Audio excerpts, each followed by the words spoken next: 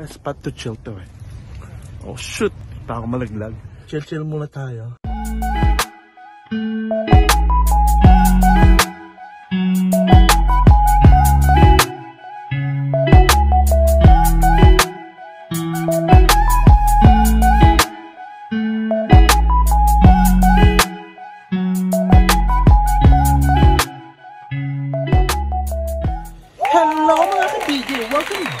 To my YouTube channel. For today's video, gagala tayo for 30 minutes kasi gusto ko lang.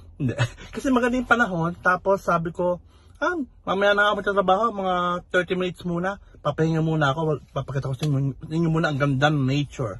Pero siya na, may, may, may akong candy kasi kailangan ko mag-candy. Alam mo na, pag tumatanda, kailangan na talaga. Charot! You're doing amazing, sweetie. Amazing. Anyway, so, ngayon, papunta na ako, paakit na ako ng mountain. Ah, mga 5 minutes away lang dito sa sa area na kung saan ako naka- naka-stop ngayon. Um, hintayin ko mag-sunset kasi maganda yung sunset dito pag ano, pag nasa mountain. Kaya ano pang hinihintay nyo? Samahan nyo ako mga ka-BJ Wall. See you later!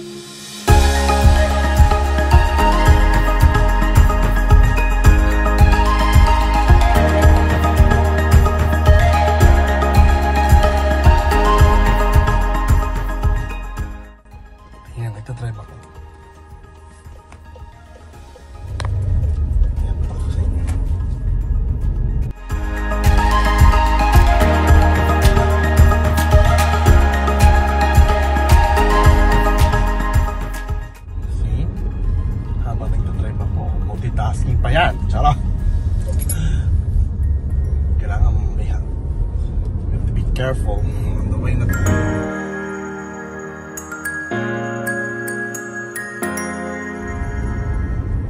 Yan, dyan na papunta ng Burnaby Mountain. Ito yung way namin papunta. Yan, makita mo yung, yung araw. Yung panahon, nakakasilaw yung araw. Few moments later. And we made it to the mountain, mga ka-BJ. So, ayan, chill muna tayo dito sa taas ng mountain. Papakita sa inyo yung buong mountain, of course. Ano pa nga ba? Kaya, ayan, samahan niyo ako. Chill-chill muna tayo. Habang walang trabaho, kailangan eh magpahinga muna at ipakita ang nature at you gotta love nature. Ang sarap ng feeling ng maka maka sagip ng fresh air from the mountain. Kaya ano pa yung hintay nyo? Samahan nyo ako.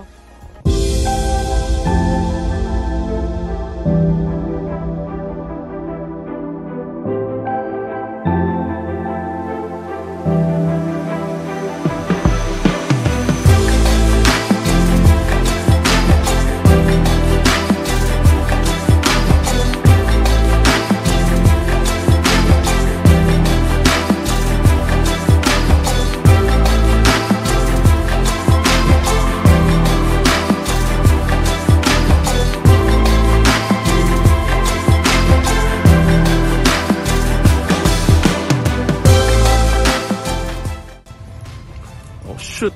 Baka ako malaglag. Eh, ah, naglalakad ako ngayon dito sa. Nag- Mag-isa. Sanay naman ako mag-isa. Charot. Wait, saan tatawid? Baka umaksidente tayo. Kailangan eh, tumawid tayo sa tamang tawiran.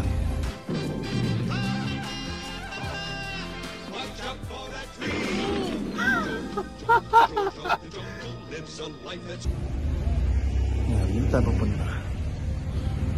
First off, doon tayo sa kabila. Yun, doon tayo. Doon.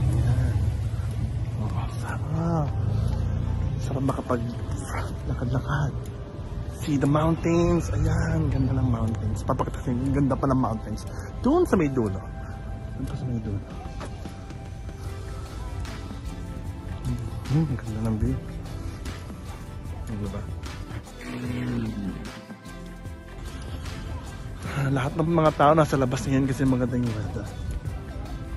Yun sila. enjoy nila yung weather. Ito, famous siya dito.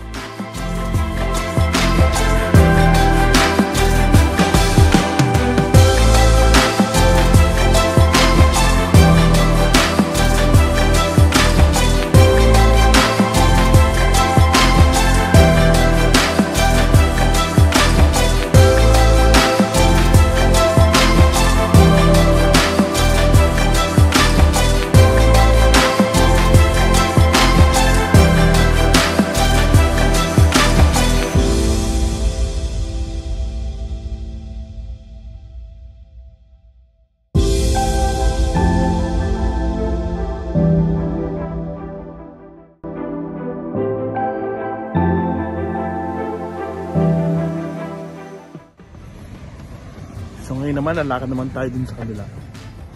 Ang way natin papunta sa kabila. Para makita natin yung other side of the mountain. Lagi pinupuntahan tong mountain na to pag maganda yung panahon. Lalo na ngayon, spring to summer. Kasi best spot to chill to eh. Lalo na yung spot na yun. Ayan. Diba? Daming tao. Diba hindi na nakamask? Oops. Siya. Punta ka. Diba? Ganda oh. Ganda ng nature. Papakita sa inyo yung kabilang mountain. Ang ganda.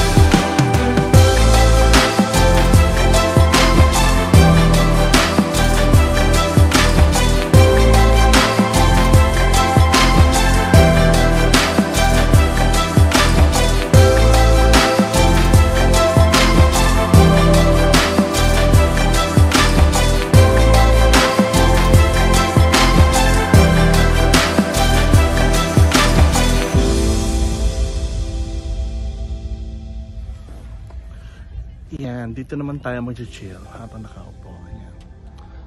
Diba? While waiting for the sunset. Ay naku, matagal pa yung sunset. Kaya baka hindi ko nahintayin. Gabihin pa ako dito sa mountain. Malate pa ako sa mga deliveries ko. Buti na lang wala pang, hindi pa busy ngayon. Hindi pa wala pa pumapasok ng order. Kaya, nandito lang ako sa middle. Maraming tao. Dito masarap mag-chill. Marami kang nakikitang view. Mm, Diyos ko. Nakatiitsi ka sa akin. Walang gusto sumama sa akin today, kaya ako na lang mag-isa pumunta rin. Kaya ko naman mag-isa. Kaya ko naman mag-travel. Sa sunod, mga travel naman gagawin ko, kahit mag-isa lang ako. Traveling alone.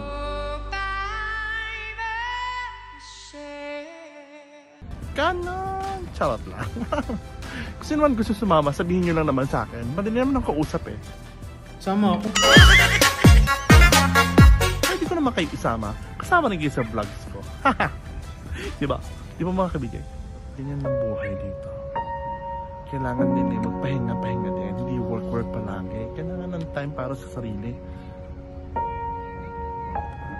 Pag mga may maraming problema, stress sa buhay, pumunta ka lang dito, mawawala yung problema mo. Kasi, kasi nakaka-relax ang view dito. não viu. Ah!